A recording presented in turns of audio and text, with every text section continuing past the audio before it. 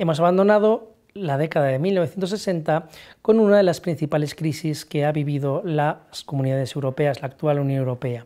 No obstante, a pesar de esta crisis, hemos visto cómo los Estados miembros de las comunidades europeas y la propia comunidad habían acaparado el interés internacional. Y de nuevo, tanto los países a nivel individual como de manera colectiva las comunidades habían conseguido de nuevo posicionarse a nivel global.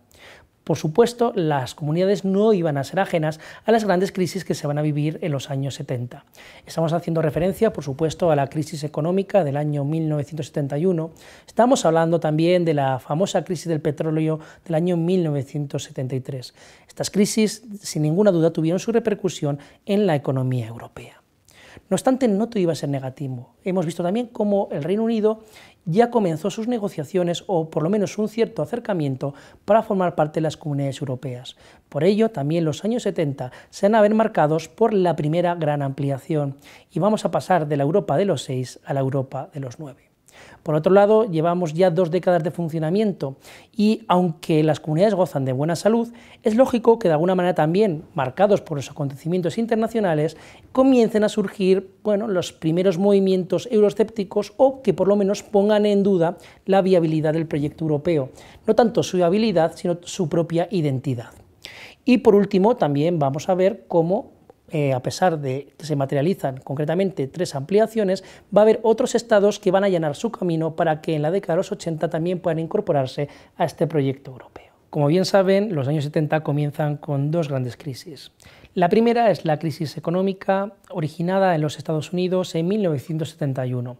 Sin entrar en detalles, todos recordamos o hemos estudiado cómo, por un lado, Nixon decide abandonar los acuerdos de Bretton Woods, lo cual eh, bueno, deja perplejos a sus socios internacionales, pero quizá lo más importante, cómo decide abandonar el patrón oro y por, por lo tanto la equiparación del dólar al mismo. Esto desde luego genera no una distorsión, pero sí de alguna manera una cierta preocupación a nivel internacional. No obstante, esta crisis, que tuvo su repercusión, por supuesto, en la economía europea y también en los eh, pequeños acuerdos comerciales que podían existir entre las comunidades europeas y los Estados Unidos, eh, bueno, no fueron tan profundos como las, eh, las, consecuencias originadas en la crisis de 1973, la, conocido, la conocida como crisis del petróleo.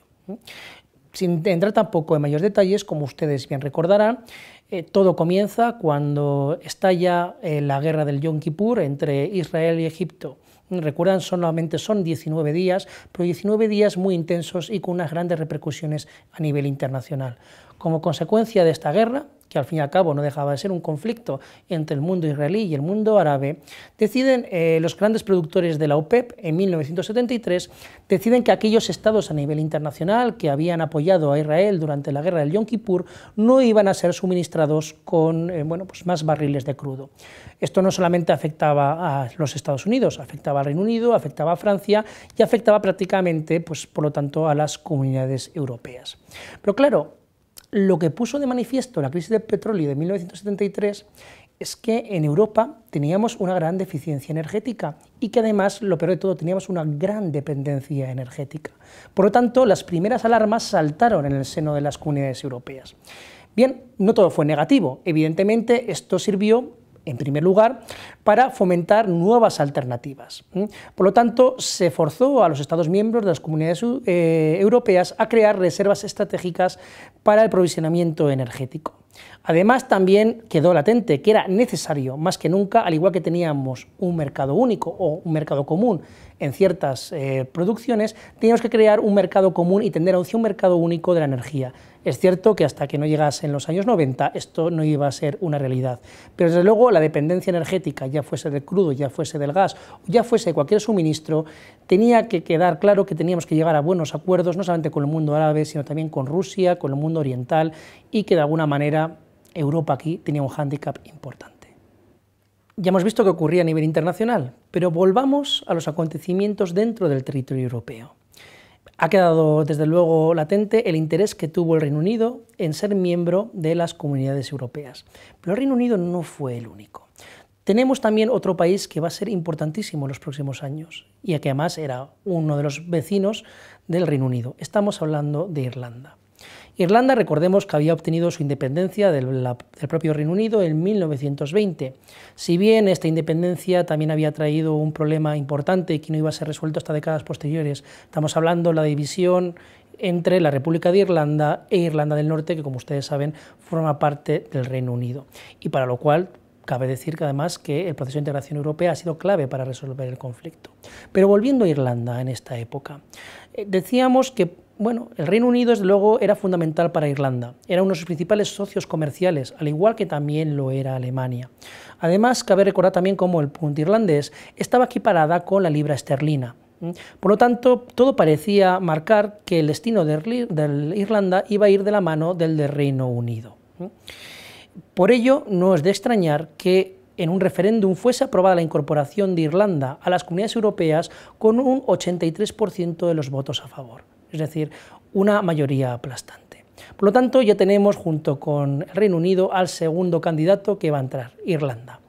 Algo similar ocurrió con Dinamarca. Dinamarca también se planteó su entrada en las comunidades europeas. Es cierto que Dinamarca tenía ciertas peculiaridades y de hecho estas peculiaridades han quedado resaltadas, por ejemplo, con su no incorporación al euro en las décadas posteriores. También tenía ciertas reticencias por los temas principalmente de carácter de la gestión pesquera.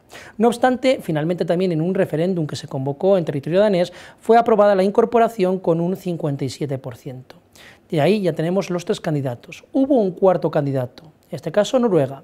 No obstante, a diferencia de lo que ocurrió con sus, sus vecinos daneses, Noruega en un referéndum aprobó por un aproximadamente 54%, no llegó al 54%, su no ingreso en las comunidades europeas. Y en este caso, pues las cuestiones de la gestión de la política pesquera fueron claves para la no incorporación de Noruega.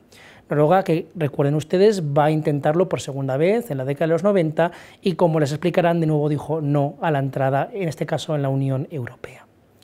Claro, esto desde luego ponía en jaque a la que se había creado por aquel entonces EFTA, ¿no? esa asociación de libre comercio entre Estados europeos que no pertenecían a las comunidades europeas. Esta ampliación, no obstante, fue muy positiva, reforzaba a las comunidades europeas. Ahora bien, las comunidades europeas era un invento puramente de carácter económico, podíamos hablar de una identidad cultural europea y esto preocupaba mucho, porque desde luego empezaban a surgir los primeros movimientos euroscépticos dentro del territorio europeo. Por ello, no es casualidad que poco después de la ampliación, la ampliación se producía a comienzos de 1973, en diciembre de 1973 se llevara a cabo en Copenhague la Declaración sobre la Identidad Europea. Permítame que les lea simplemente un pequeño extracto de la misma es el comienzo de la propia declaración. Y fíjense a qué conclusiones llegaron. Los nueve estados europeos, cuyo pasado y cuya defensa de intereses egoístas malentendidos habrían podido conducir a la discordia, han decidido, en cambio, superar sus antagonismos y unirse, elevándose al nivel de las necesidades europeas fundamentales para asegurar la supervivencia de su común civilización con el deseo de asegurar el respeto de los valores jurídicos, políticos y morales a los que se encuentran ligados, con el propósito de conservar la rica variedad de sus culturas nacionales y teniendo en común una misma concepción de la vida, fundada sobre la voluntad de construir una sociedad concebida y realizada al servicio del hombre, estos estados pretenden salvaguardar los principios de la democracia representativa, el Estado de Derecho, la justicia social y la finalidad del progreso económico y el respeto a los derechos del hombre, que constituyen elementos fundamentales de la identidad europea. Los nueve estaban convencidos de que esta tarea se corresponde con las aspiraciones profundas de los pueblos y debe ser perseguida con su participación, especialmente a través de sus representantes electos. Por lo tanto, los nueve tienen la voluntad política de llevar felizmente a término la construcción europea. Por lo tanto, el capítulo de la integración no terminaba en los años 70, sino que realmente estaba profundizándose y se estaban poniendo soluciones a esas crisis que estaban surgiendo por el camino.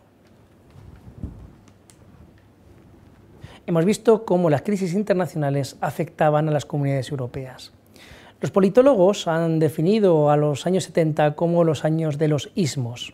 Estamos hablando de distintos movimientos muy necesarios que surgieron durante esta década.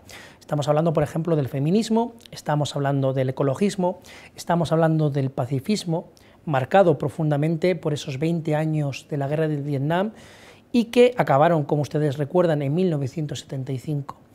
Y hablando de ismos, pues no era casualidad que también surgiesen los primeros euroescepticismos. Fundados estos euroescepticismos, esta desconfianza hacia las comunidades europeas y hacia el proyecto que suponía la integración europea, bien, es cierto que durante 20 años habíamos vivido una estabilidad que no habíamos conocido durante los siglos anteriores. Solamente por esto merecía la pena conseguir y, desde luego, profundizar en el proyecto europeo. Pero claro, evidentemente, como hemos dicho, hay una globalización cada vez mayor y bueno, los europeos están viendo qué es lo que está ocurriendo en otros territorios a nivel internacional. Y una de las quejas que hay sobre el procedimiento o sobre el funcionamiento de las comunidades europeas es que de alguna manera se considera que no hay una legitimación, o por lo menos una total legitimación de las instituciones europeas. Y hay que ser críticos, quizá razón no faltaba. Por ello, yo creo que es interesante que nos centremos concretamente en el caso concreto de la entonces Asamblea Parlamentaria, actual Parlamento Europeo. Bien, todos sabemos que un Parlamento representa la voluntad de los ciudadanos y en este caso la Asamblea Parlamentaria Europea, creada desde el comienzo de las comunidades, pretendía de alguna manera reflejar pues, las inquietudes y los intereses de los ciudadanos de los Estados miembros de las comunidades europeas. Pero claro, una asamblea parlamentaria en, los en los que los parlamentarios eran designados pero no eran elegidos, desde luego, pues sin ninguna duda, era algo muy criticable. Por eso, las comunidades europeas rápidamente, en los años 70, se ponen en funcionamiento para, de alguna manera, democratizar a la asamblea, asamblea, al Parlamento y convocar las primeras elecciones. Esto se consigue en 1979 y mediante sufragio universal se producen las primeras elecciones al Parlamento Europeo. Además, eh, también por primera vez una mujer es elegida presidente del Parlamento Europeo y de alguna manera pues, bueno, se da una mayor legitimidad a este organismo que desde luego todavía va a tener que sufrir ciertas modificaciones en los años 80 y 90 y al que vamos a tener que dotar de una mayor importancia en el proceso de toma de decisiones. Pero esto se lo explicaremos mucho más adelante. Las comunidades europeas se ampliaron hacia el norte de Europa. Pero ¿qué estaba ocurriendo en el resto de los estados europeos? ¿Cómo se estaba viendo este proceso de integración europea? Bueno, desde luego, capítulo aparte merece lo que había ocurrido o lo que estaba ocurriendo en Alemania, como ustedes bien saben, dividida entre el bloque occidental y el bloque oriental, este último además bajo el influjo de la ya extinta Unión Soviética. Pero en el sur se estaba allanando el camino para una integración muy necesaria. Estamos hablando de lo que estaba ocurriendo en Grecia, en España y en Portugal. Vayamos por partes, muy rápidamente. Portugal, 1974. Como bien sabemos, la Revolución de los Clavales pone fin a 32 años de dictadura civil, en este caso, recordemos, del dictador Salazar.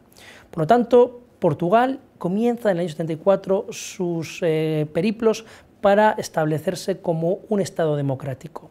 La misma suerte eh, corre España, en este caso 40 años de dictadura, en este caso una dictadura militar, la del general Franco. Como sabemos, en este caso no es un golpe, sino la muerte del dictador, el que de alguna manera también va a marcar la segunda mitad de la década de los 70 en el caso de España.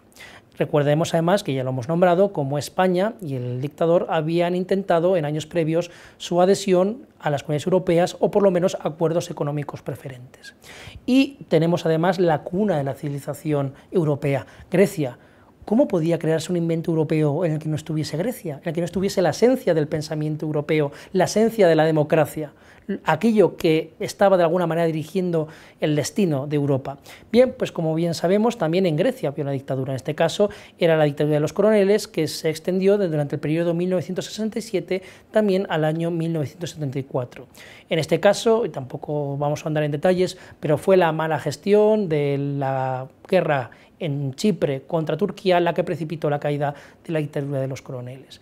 Si bien es cierto que durante los años 70 y comienzo de los 80 estos tres estados van a tener que también adaptar sus sistemas internos para una futura adhesión, el camino desde luego estaba despejado y en breve podríamos ver cómo las comunidades europeas iban a pasar de 9 a 12 miembros.